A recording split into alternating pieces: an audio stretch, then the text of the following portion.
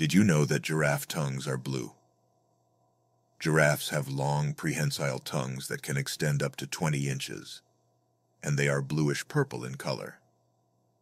This is thought to help prevent sunburn when they feed on leaves in the hot sun for hours.